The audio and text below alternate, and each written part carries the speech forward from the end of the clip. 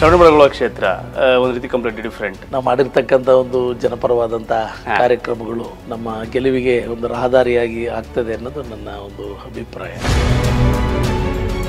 ಪ್ರತಿಯೊಬ್ಬರನ್ನು ಕೂಡ ನೇರವಾಗಿ ಅಟೆಂಡ್ ಮಾಡುವಂತ ಕೆಲಸ ಮಾಡ್ತೀರಿ. ಹೆಂಗ್ ಸಾಧ್ಯ ಆಯ್ತು ದಿನದ ಹದಿನಾರು ಗಂಟೆ ತಾಲೂಕಿನ ಅಭಿವೃದ್ಧಿಗೆ ಚಿಂತನೆ ಇಟ್ಕೊಂಡು ಕೆಲಸ ಮಾಡಿದ್ವಿ ಸರ್. ಜೆ ಡಿ ಎಸ್ನ ಭದ್ರಕೋಟೆ ಹಾಸನ ಸೊ ಒಂದಷ್ಟು ಟಫ್ ಟಾಸ್ಕ್ ಎದುರಾಗ್ತದೆ ಅಂತ ಅನ್ಸುತ್ತೆ ಹಾಸನ ಜಿಲ್ಲೆಯಲ್ಲಿ. ಇಡೀ ಜಿಲ್ಲೆನಲ್ಲೇ ಒಂದು ಪ್ರಬಲವಾಗಿದೆ ಸರ್ ಸರ್.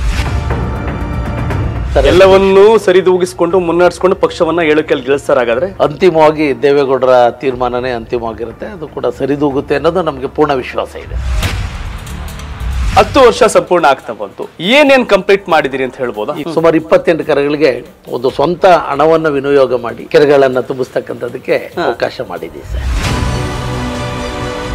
ನಾನು ಕರ್ತವ್ಯ ಮಾಡಿದ್ದೀನಿ ಅನ್ನೋದು ನನ್ನ ವಿಶ್ವಾಸ ಇದೆ. ನೀವು ಲಕ್ಷಾಂತರ ರೂಪಾಯಿ ಖರ್ಚಾಗೋ ಆಪರೇಷನ್ಗಳನ್ನೇ ಸಾವಿರಾರು ಜನಕ್ಕೆ ಫ್ರೀ ಆಪರೇಷನ್ಗಳನ್ನ ಮಾಡಿಸ್ಬಿಟ್ಟಿದ್ದೀರಿ. ನಮ್ಮ ಹತ್ರ ಬಂದಾಗ ಸರ್ ಅವರ ಅಳನಲ್ನ ಅಳಲನ್ನ ಒಂದು ಒರೆಸುವಂತ ಪ್ರಯತ್ನವನ್ನ ಪ್ರಾಮಾಣಿಕವಾಗಿ ಕಳೆದ ಇಪ್ಪತ್ತೆಂಟು ವರ್ಷಗಳಿಂದನೂ ಕೂಡ ಮಾಡ್ಕೊಂಡ್ ಈ ಉದ್ಯೋಗ ಸೃಷ್ಟಿ ಸಂಬಂಧಪಟ್ಟಂಗೆ ಏನೋ ಚೇಂಜಸ್ ಆಗಿದೆ ನಿಮ್ಮಲ್ಲಿಂದ? ಮುಂದಿನ ದಿನಗಳಲ್ಲಿ ಒಂದು ಸ್ವಲ್ಪ ಇಂಡ್ರಿ ಇಂಡಸ್ಟ್ರೀಸ್ಗಳು ಹೆಚ್ಚು ಬರಬೇಕು ಅನ್ನೋದು ನಮ್ಮ ಒಂದು ಇಚ್ಛೆ ಇದೆ. ಯಾರು ತುಂಬಾ ಬಡವರು ಅಂತ ಬಂದಾಗ ಅವರು ವಾಪಸ್ ಅಂತೂ ಕಳಿಸಿಲ್ಲ. ಏನಾದ್ರು ಜಿಲ್ಲಾವಾರ ಒಂದಷ್ಟು ಕಾನ್ಸೆಪ್ಟ್ ಅನ್ನ ಇಟ್ಕೊಂಡಿದ್ದೀರಾ ಸಂಘದ ವತಿಯಿಂದ? ಸುಮಾರು ಹೆಚ್ಚು ಕಡಿಮೆ ಒಂದು ಕೋಟಿ ರೂಪಾಯಿ ಹಣನ ಒಂದು ಗೌರವಧನವಾಗಿ ವಿದ್ಯಾರ್ಥಿಗಳಿಗೆ ಐದು ಸಾವಿರ ರೂಪಾಯಿ ಕೊಡುವಂಥದ್ದು ಸರ್ಟಿಫಿಕೇಟ್. ಅವ್ರಿಗೇನೋ ಒಂದು ಉತ್ಸಾಹ ಹುಮ್ಮಸ್ಸು ಎ ಟಿ ರಾಮಸ್ವಾಮಿ ಅವರು ಬಿಜೆಪಿ ಸೇರ್ಕೊಂಡ್ರು ಶಿವ ಶಿವಲಿಂಗೇಗೌಡರು ಕಾಂಗ್ರೆಸ್ ಸೇರ್ಕೊಂಡ್ರು. ಏನ್ ಹಿಂಗಾಗ್ಬಿಡ್ತಲ್ಲ ಹಿರಿಯರಿದ್ದಾರೆ ಇನ್ನು ಅಷ್ಟು ಏಳುವೆ ಅವ್ರ ತೀರ್ಮಾನ ತಗೊಂಡಾಗ ನಾವೇನು ಮಾಡ್ಲಿಕ್ಕೆ ಆಗ್ಲಿಲ್ಲ. ಶಿವಲಿಂಗೇಗೌಡರು ಶಕ್ತಿ ತುಂಬಿದ್ದೆ ಜೆ ಡಿ ಎಸ್. ಹೌದೌದು ಖಂಡಿತ.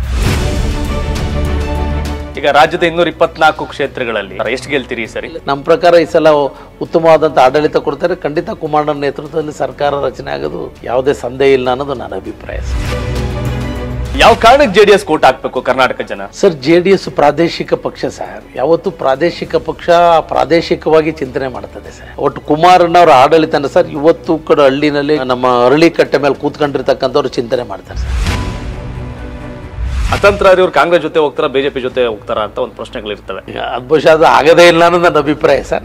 ಫಿಕ್ಸ್ ಆಪ್ಷನ್ ಇಲ್ಲ ಗೆಲ್ತೀವಿ ಅಂತ. ಅಂತ ಇದೆ ಸರ್. ಎಷ್ಟು ಲೀಡಲ್ಲಿ ಗೆಲ್ತೀರಿ? ಒಂದು ನನ್ನ ಶ್ರವಣಬೆಳಗೊಳದ ಮಹಾಜನತೆ ಒಂದು ಅಭೂತಪೂರ್ವ ಜಯ ತಂದು ಕೊಡ್ತಾರೆ ಎಂಬತಕ್ಕಂಥ ವಿಶ್ವಾಸ ಇದೆ. ಖಂಡಿತ.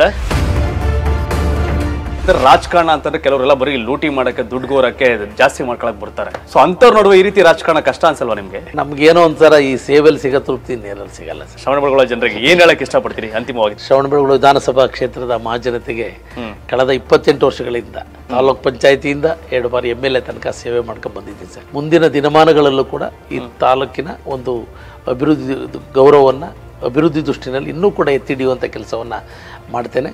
ಎಲ್ಲ ಮಹಾಜನತೆ ಒಂದು ಅಭೂತಪೂರ್ವವಾದಂಥ ಗೆಲುವನ್ನು ಜಾತ್ಯತೀತವಾಗಿ, ಪಕ್ಷಾತೀತವಾಗಿ ತಂದುಕೊಡಬೇಕು ಅಂತ ಈ ಮೂಲಕ ಭಕ್ತಿಪೂರ್ವಕವಾಗಿ ಪ್ರಾರ್ಥಿಸ್ತೇನೆ ಸರ್.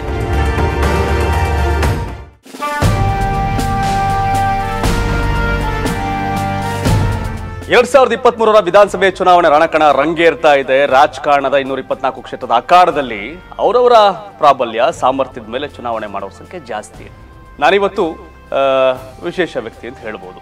ನಿಮ್ಗೆ ಗೊತ್ತಿರಲಿ ಸಿ ಎನ್ ಮಂಜುನಾಥ್ ಅವರು ಜಯದೇವ ಮಂಜುನಾಥ್ ಅವರು ಇಡೀ ರಾಜ್ಯಾದ್ಯಂತ ಚಿರಪರಿಚಿತ. ಹಾಗೆ ಅವ್ರ ಸಹೋದರ ಸಿ ಎಂ ಬಾಲಕೃಷ್ಣ ಅವರು ತಮ್ಮದೇ ದಾಟಿಯಲ್ಲಿ ರಾಜಕೀಯ ಶೈಲಿಯಲ್ಲಿ ಶ್ರವಣಬೆಳಗೊಳ ಕ್ಷೇತ್ರದ ಶಾಸಕರು ಜೊತೆಗೆ ಒಕ್ಕಲಿಗರ ಸಂಘವನ್ನ ಮುನ್ನಡೆಸ್ತಾ ಇದ್ದಾರೆ. ಚುನಾವಣಾ ರಾಜಕಾರಣ ಅಂತಂದ್ರೆ ಬೇರೆ ಇನ್ಫ್ಲೂಯೆನ್ಸ್ ಮೇಲೆ ಕೆಲಸ ಮಾಡೋದು ಬೇರೆ. ಆದ್ರೆ ತನ್ನದೇ ಬ್ರ್ಯಾಂಡ್ ಕಟ್ಕೊಂಡು ರಾಜಕಾರಣ ಮಾಡೋ ಸಂಖ್ಯೆ ತೀರಾ ವಿರಳ. ಅದೆಲ್ಲ ಹಾಸನ ರಾಜಕಾರಣ ಇದೆಯಲ್ಲ ಕಂಪ್ಲೀಟ್ಲಿ ಡಿಫ್ರೆಂಟ್ ಈಗ ಹಾಸನದ ರಾಜಕಾರಣದಲ್ಲಿ ಒಂದು ರೀತಿಯ ಶಕ್ತಿವಂತರಾಗಿ ಶ್ರವಣಬೆಳಗೊಳದಲ್ಲಿ ಮತ್ತೆ ಜೆ ಡಿ ಎಸ್ ಗೆಲ್ಲುತ್ತೆ ಅನ್ನೋ ಹಂಡ್ರೆಡ್ ಪರ್ಸೆಂಟ್ ಆತ್ಮವಿಶ್ವಾಸ ಹೇಳುವಂಥ ವ್ಯಕ್ತಿ ಸಿ ಎನ್ ಬಾಲಕೃಷ್ಣ ಅವರು. ಶ್ರವಣಬೆಳಗೊಳ ಶಾಸಕರು ನನ್ನ ಜೊತೆ ಇದ್ದಾರೆ. ಸರ್, ನಮಸ್ಕಾರ. ಕಾರ್ಯಕ್ರಮ ಸ್ವಾಗತ.